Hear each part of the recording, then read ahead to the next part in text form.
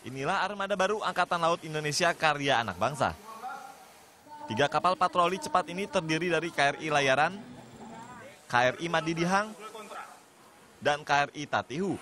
Nantinya kapal-kapal ini akan berpatroli di wilayah armada timur perairan Indonesia. Peresmian berlangsung di Pelabuhan Batu Ampar, Kota Batam, Kepulauan Riau pada Selasa siang. Tiga kapal ini untuk ngisi di armada kawasan timur. Sehingga tadi dia dengan media yang menerima end usernya adalah para tim.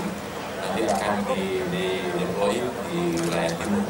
Karena beberapa kapal PP 57 misalnya 92 yang kita isi sudah yang baru ini. Saat ini sudah ada 24 kapal milik TNI AL yang diproduksi dalam negeri. Selanjutnya perusahaan galangan kapal dalam negeri diharapkan bisa memproduksi kapal dengan ukuran lebih besar dan persenjataan yang lebih canggih. Petrus Turni melaporkan untuk NET.